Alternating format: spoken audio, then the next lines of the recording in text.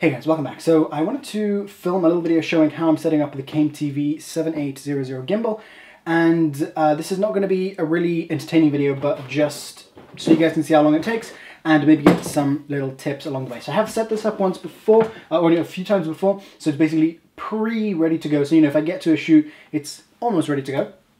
And uh, okay, so this is the gimbal. Now you can set up the stand over here, which you know comes with a little stand, and this takes a little long to set up. I've actually found a way, I'll show you guys in a second, I found a way that, that, it doesn't take too long to set up, but this isn't the, you know, my preferred method, but I'll show you guys that in a second. So what I prefer is, you know, I don't think I would ever be at a shoot where I have this thing, you know, because it's, it's not a tiny thing that I'm going to put in like a backpack for travel, you know, it's just a larger thing for more, uh, for specific uses on a shoot. So, um, I don't think I'm ever going to be able to shoot with, with this and without light stands. So, uh, you know, these are a couple of light, you know, small light stands. If you really wanted to, you could get some uh, small light stands like the Lily, uh, whatever it's called. I'll, I'll put a link down below, uh, the Lilipod or Lollipod, the Lollipod. So you could easily fit two Lollipod stands, uh, which would hold this just fine you could easily fit them into the case if you you know there's there's some extra space in here. If you you know if you cut a little slit in it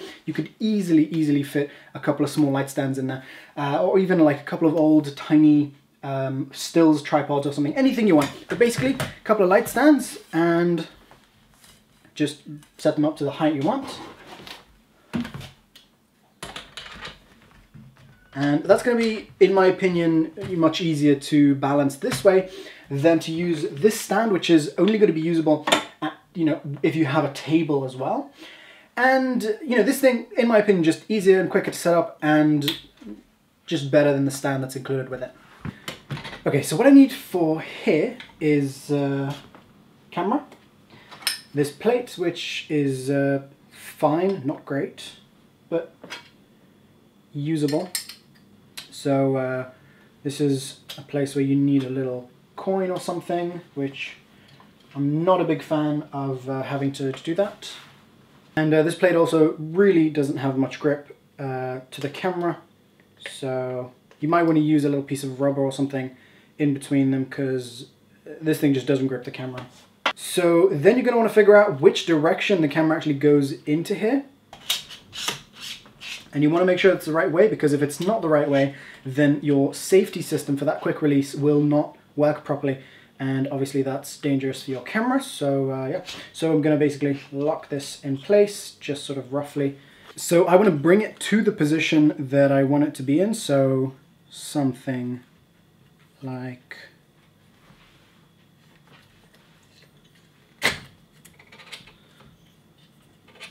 this and basically I need to basically check each axis and see if it's, you know, basically do one axis at a time, make sure that's stable. And I'm going to do that once and then go over it again, make sure that I'm sort of tweak it and make sure it's perfect. So, uh, okay. Flip this round, move the camera forward because I can see it's really tilting back.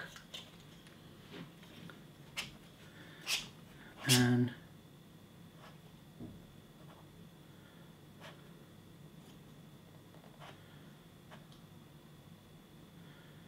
Okay, so I got that uh, pretty much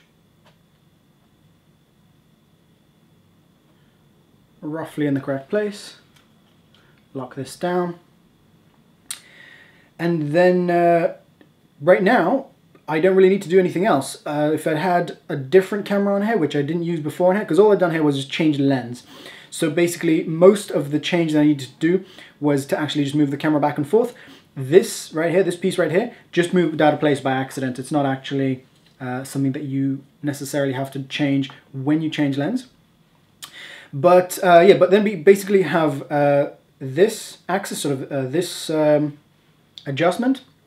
We have the adjustment here, backwards and forwards.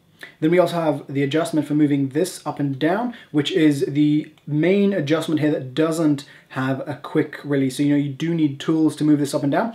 But I actually, for the A7S, I haven't needed to move this up and down. Just the way it came from the factory was perfect for the A7S. And, you know, if I wanted to use my 5D on here, I would likely need to move, move this up and down a little, um, you know, if needed. So, okay, so I'm going to move, uh, I'm going to turn my camera on. Actually, what I'm going to do is I'm going to make sure that I'm using the battery that I want to actually shoot with because otherwise, if I need to change battery from a half empty one, then that's going to change my balance in the middle of shooting.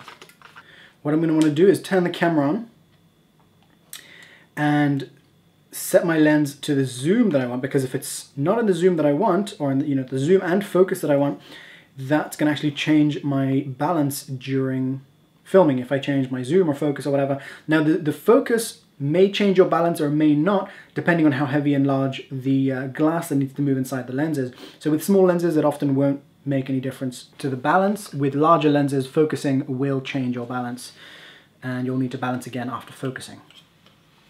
So, okay, I've got that set up really nicely. Basically, whatever position I move it to, it stays in that position.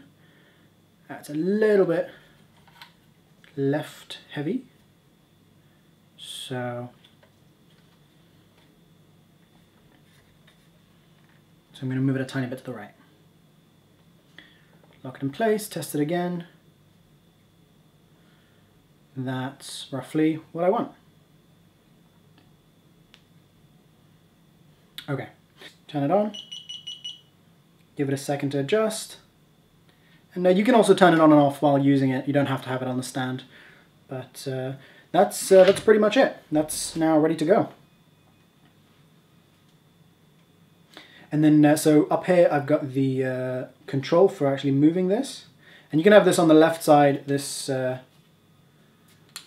you know, like that. And then if you press it, you can get into a follow mode that follows your movements.